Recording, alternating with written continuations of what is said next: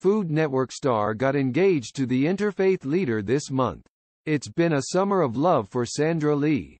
The former girlfriend of New York Governor Andrew Cuomo is reportedly engaged to actor Ben Youcef.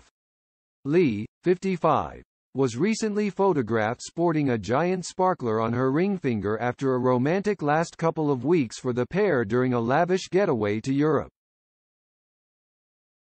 The new couple has put their love on full display during outings in Saint-Tropez before making their way to Paris. But the Food Network star's first relationship following her 14-year stint with the embattled governor of New York reportedly dates back to early 2021. Here's a timeline of Lee's whirlwind romance to the actor.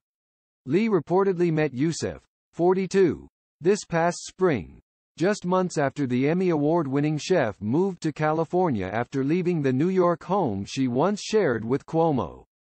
In a heartfelt post from December, the chef shared on Instagram that she was saying goodbye to the more than 4,100 colonial-style Mount Kisco abode she lived in on the East Coast, calling it one of the saddest days of her life.